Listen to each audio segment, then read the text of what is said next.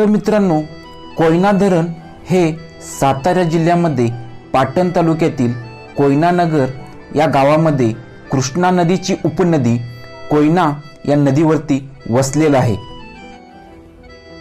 हे धरण साताऱ्यापासून चौऱ्याऐंशी किलोमीटर अंतरावर आहे. कोयना हे महाराष्ट्रातील सर्वात मोठं धरण आहे.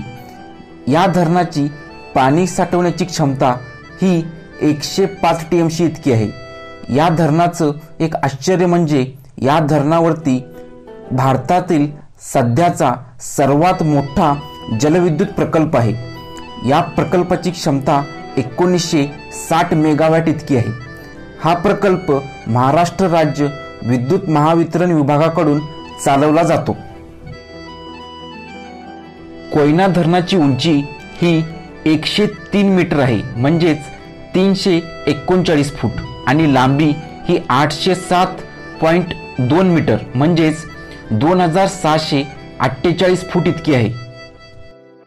हे धरण एकोणीसशे छप्पन साली बांधायला सुरुवात झाली आणि एकोणीसशे चौसष्ट साली या धरणाचं बांधकाम पूर्ण झालं.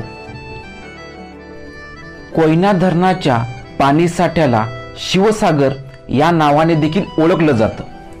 कोयना धरणाचा पाणी पुरवठा पश्चिम महाराष्ट्राबरोबरच उत्तर कर्नाटक आणि आंध्र प्रदेश या राज्यांना देखील होतो.